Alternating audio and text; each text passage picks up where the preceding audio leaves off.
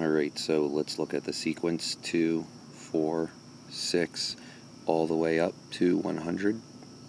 So uh, this is the first term in our sequence, so u of n would equal 2 plus n minus 1 times the constant difference, which is 2. When I simplify that, I get u of n equals 2n. You could check your work on, uh, on your own for that.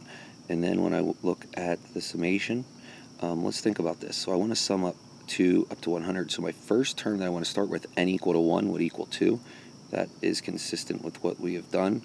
And the last term would be, if I plug in, if I want to add in 100 to the series, n has to be 50.